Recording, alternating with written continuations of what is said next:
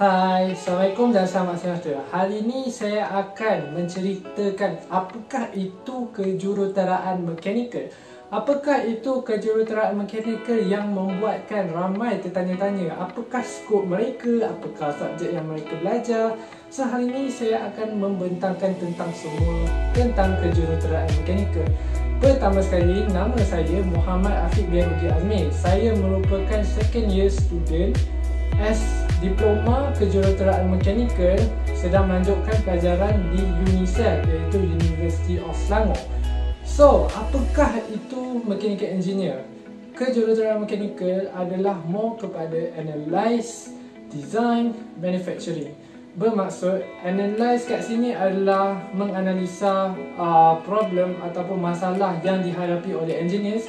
Kedua adalah design, maksud dia design produk untuk memudahkan pekerjaan-pekerjaan orang lain ataupun design satu produk okey untuk memudahkan okey transportation ataupun uh, machinery benda-benda yang melibatkan mesin manufacturing ni more kepada dalam perkilangan. Dalam perkilangan ada banyak-banyak benda yang kita guna untuk benda-benda mekanikal. Maka mechanical engineer sangat penting untuk mengendali benda-benda yang melibatkan mekanikal So mechanical engineering ni bukan terletak pada hands on sahaja. Ada juga mechanical engineering yang buat research dan development. Okey. Apakah mereka buat dalam sektor kejuruteraan mechanical? So pertama sekali analyze masalah, menyelesaikan masalah, design produk, test produk dan itu sahaja yang melibatkan mesin. So kebanyakan dalam mechanical engineer ni mau kepada mesin. So industri mana pula yang kita boleh pergi? Industri-industri yang sering kita nampak mechanical engineer diguna pakai adalah oil and gas, otomotif, uh, syarikat penerbangan, manufacturing uh, dan juga um, typing. Ramai yang tertanya, apakah subjek core untuk kejuruteraan mekanikal? Antaranya adalah dynamic, static, thermodynamic, fluid dynamic, strength of material dan juga machine design. Ada juga subjek-subjek yang lain tetapi kita akan menceritakan tentang subjek-subjek ni dulu. Okey, subjek-subjek yang kita akan pelajari dalam kejuruteraan mechanical adalah more kepada benda yang bergerak dan benda yang tidak bergerak. Okey, contoh ni benda yang bergerak adalah seperti bola, seperti mesin, seperti kereta, seperti uh, tenaga, seperti uh, bendalih. Benda-benda itu adalah sangat penting. Dan sebelum kita masuk kepada subjek kejuruteraan mekanikal adalah sangat penting bagi adik-adik untuk menguasai dua subjek ni untuk SPM iaitu fizik dan juga matematik. Matematik ini adalah dua matematik yang adik-adik kena kuasai. Satu adalah matematik tambahan dan satu lagi adalah mod math ataupun matematik biasa. Dan kenapa benda ini adalah sangat penting adalah kerana benda-benda ini akan diaplikasikan dalam kejuruteraan mekanikal. Kalau anda bukan seorang student sains ataupun anda seorang student sastra, lebih baik anda uh, mempraktis okay, untuk uh, untuk menambah baikkan penguasaan matematik anda. Kalau anda adalah seorang uh, daripada aliran sains maka jangan risau. Itu adalah semua benda yang anda telah pelajari masa aliran sains dan ia akan memudahkan penggunaan okey fizik dan matematik dalam subjek ini. Okey.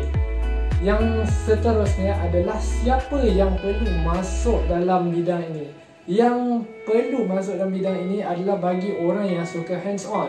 Bermaksud orang yang suka bermain dengan benda.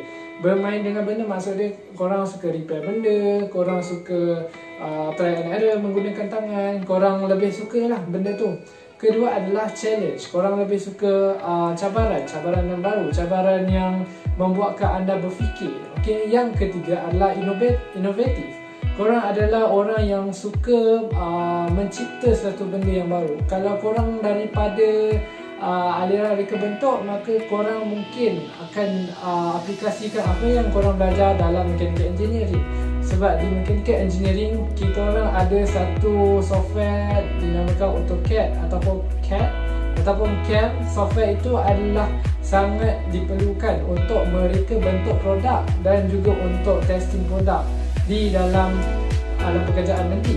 Yang lagi satu adalah orang yang suka menyelesaikan masalah. Maksud dia apa masalah dia, dia nampak benda tu boleh diselesaikan dan bukan menjadi satu masalah bagi mereka. Okey, seterusnya adalah education pathway. Macam mana korang nak jadi kejuruteraan mechanical?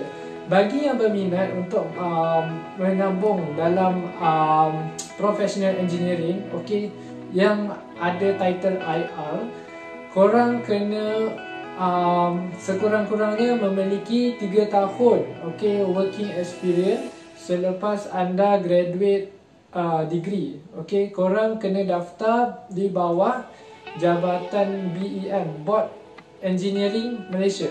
Itu sangat penting. Tapi sebelum untuk sampai ke um, sebelum sampai ke arah sana, ada beberapa laluan yang korang boleh lalui. Contohnya, pertama ambil diploma. Diploma ambil masa 3 tahun. Dua, dua setengah tahun hingga 3 tahun. Yang kedua, yang step seterusnya anda ambil degree. Yang step seterusnya anda bekerja selama 3 tahun experience. Yang seterusnya barulah anda boleh jadi professional engineering. Ataupun laluan lain adalah korang ambil STPM, foundation ataupun asasi.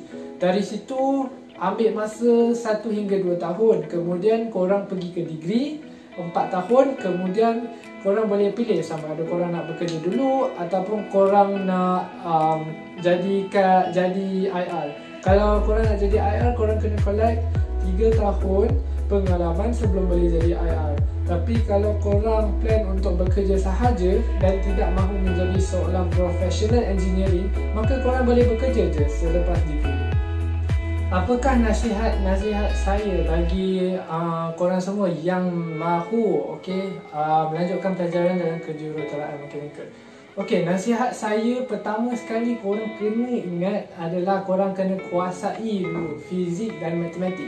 Ramai yang membuat um, uh, silap besar mereka ingat kejuruteraan mekanikal ni adalah sama seperti um, kerja-kerja hands on Okay, korang kena uh, differentiate uh, between teknologi dan pure engineering.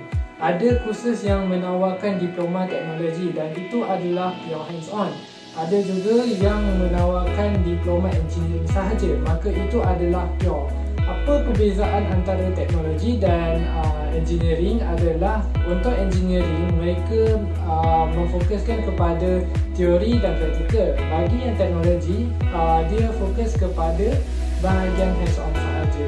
Maka korang janganlah membuat kesilapan yang salah okay, dalam memilih bidang ini. Kerana ramai yang tidak boleh membawa kejuruteraan mekanikal ni korang tak boleh membawa kejuruteraan mekanikal ni sebab korang tak ada um, tak ada tak ada passion, tak ada uh, knowledge pasal fizik dan matematik. Maka ia akan menyebabkan kesusahan pada masa hadapan. So bagi yang sesiapa yang nak ambil make sure korang okay, uh, kuasai untuk fizik, matematik dan juga bersungguh-sungguh okay, dalam okay, mengejar cita-cita sebagai seorang engineer. Dengan benda-benda itu je, korang boleh insya-Allah boleh okay, untuk menjadi seorang engineering engineer yang bertauliah. Saya harap video ini dapat memberi impak kepada orang-orang. Jangan lupa untuk share, subscribe, uh, like dan share kepada sesiapa yang perlu tahu uh, tentang kejuruteraan mekanikal ini. Sekian terima kasih. Saya harap akan menjumpa anda di masa akan hadapan. Bye bye.